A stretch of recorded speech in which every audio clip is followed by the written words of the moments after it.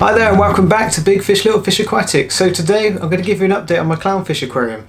I'm going to give you a bit of an insight as to what's been going on since we last looked at looked at the tank and also tell you what I'm planning to do with this aquarium in the future. So let's do this. So here are the two clownfish, both are doing really well.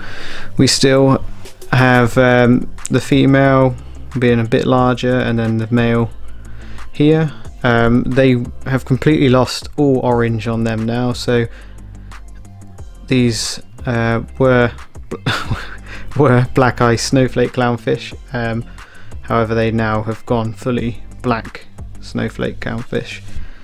Um, they've both settled in really well. They've been in here now for almost almost a year. Now the only only fish in this aquarium and um, they seem to have taken a liking to digging back down here. I don't know whether that means that they're going to start um, laying eggs or whether it's just a bit of a pastime for them.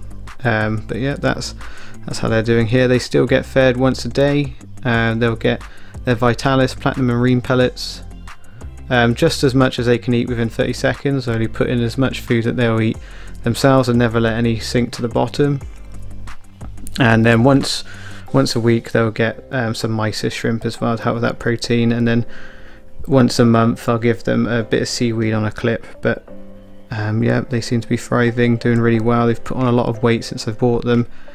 And um, yeah they really seem to have settled in.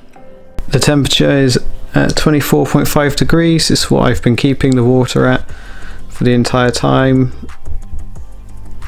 And I've currently got the filter turned off at the moment because it can be quite can be quite loud when recording. So it, it does look like it's quite still at the moment but normally there's a bit of a wave effect going on at the top.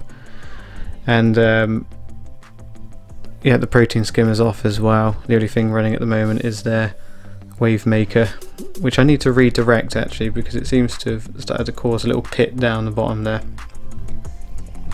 A good thing about uh, what's happened since uh, last update on this aquarium is if you notice on this live rock here. Um, there's some pink and reddish algae and this is called coralline algae and it's it's a it's actually quite beneficial for your aquarium. So normally when you picture a marine aquarium you imagine all these purple rocks with coral on them and essentially what gives those rocks that purple color is this algae. Uh, there's lots of different types of it but it's, it's uh, there's lots of different ones. And um, the good thing about coralline algae is it actually outcompetes uh, other nuisance algae such as hair algae or green algae.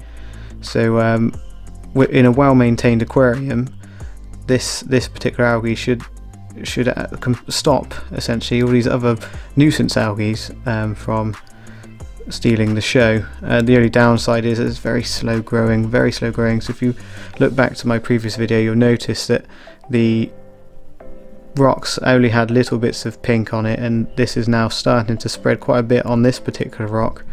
You can see on this rock here there's a little bit of purple and red building up and also on this rock here just a tiny little bit um, but it's a good sign of the aquarium maturing and uh, over time hopefully all of these rocks will go completely pink or purple. Turbo snails are doing really well. I've got two of them in here. They're the sole cleanup crew. Um, I don't think I need anything else in here. In all fairness, not really much gets to the bottom of the tank as I only feed the clownfish what they're able to eat. Um, so if anything gets to the bottom I actually stop feeding them.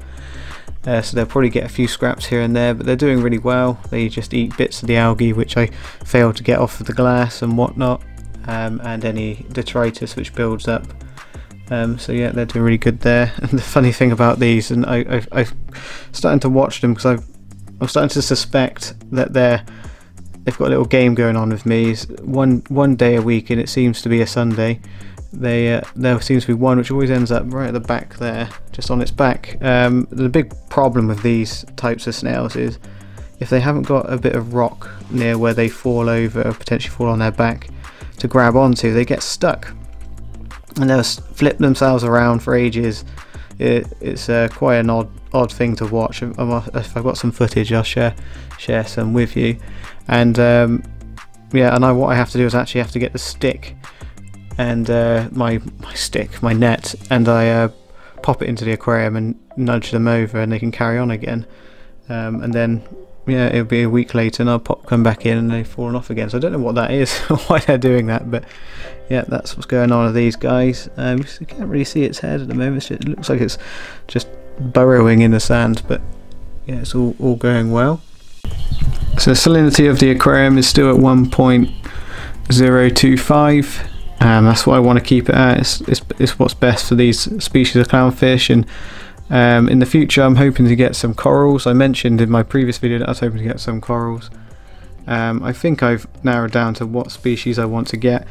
Um, but before I can tackle tackle the corals and add them into my aquarium, I've actually got a nuisance appear over the time I've had this live rock in the aquarium and I'll quickly just show this to you now so if we come around here it might be quite hard to see I'll see if going to zoom in and if I can I'll get my other camera out but if you can just see there that's uh, Aiptasia and it's a type of an anemone um, and it's it's not dangerous to my fish. Um, it's, it's relatively small for an anemone but uh, what it does do is it will sting corals and it stops the corals then from opening up and, and stops them from feeding. So it's actually a, a, bit of a pest to have in your aquarium if you if you're wanting to have a reef aquarium. So over the next few weeks before I get some corals I'm going to try and tackle to get that out of this aquarium and um, I'm going to try I'm going to try a few things so if, if, that's something you're interested in to see how I do that um, then keep a lookout for videos coming out in the future because I'll be doing that over the next few weeks um, Yes, so that's that's built up there. There's a slight little colony there. This stuff can breed asexually, so it can actually breed without others in the aquarium. So it's, it's a bit of a nuisance, and you just need to try and get it all out. And you can see there's quite a few there building up in a little colony. Um, so I'll be getting rid of those, and once I've done that, I'll then hopefully start to get some corals on these live rocks. Probably re probably rejig the live rock around a bit, make a bit of space more for the clownfish um, in open swimming space and have these rocks more on top of each other and get some nice corals in there. If you have any ideas on corals which you think would look nice in here of these clownfish with these black and white, um, any corals which might which might suit them, then please give me a shout or leave a comment down in the uh, comments below. I'll always get back to everyone. Um, it's always good to hear everyone's thoughts. Um, yeah, so that's that's the aquarium at the moment. So not not not too much going on. Obviously, it's only two fish in here, but um, hopefully over the next few weeks we'll start getting some corals in there, and uh, we'll see how how they how they change the dynamic of the aquarium itself, bring a bit more colour to the aquarium, um, and uh, yeah, go from there. So thank you for watching. I hope you've enjoyed it. Um, if you did, don't forget to give me a like, uh, subscribe if you not haven't done already, and I'll see you in the next one.